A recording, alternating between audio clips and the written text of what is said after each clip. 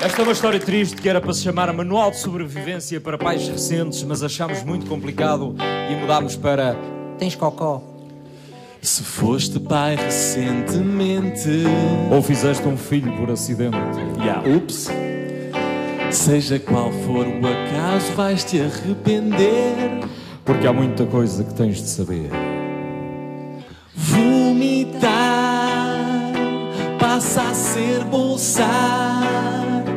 Não é vou dormir, agora vou nanar. Não é, vou, não é mimir? Não, isso é o que ela escreve no Facebook antes de dormir. Ah, vou mimir.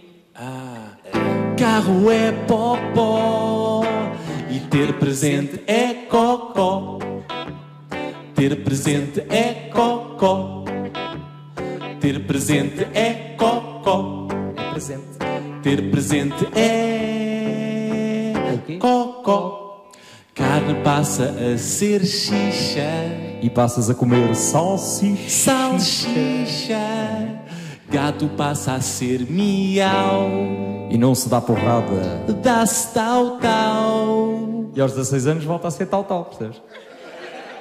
Não? Vomitar passa a ser bolsar.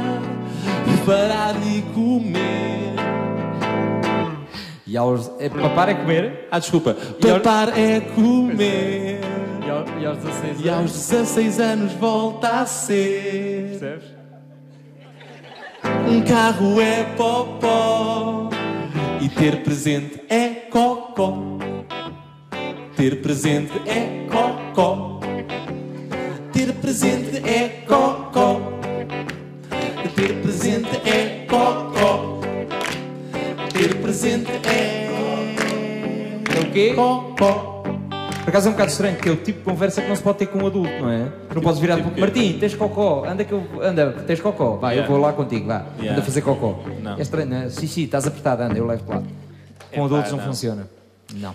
Um carro é popó e ter presente é popó. Ter presente é cocó. Ter presente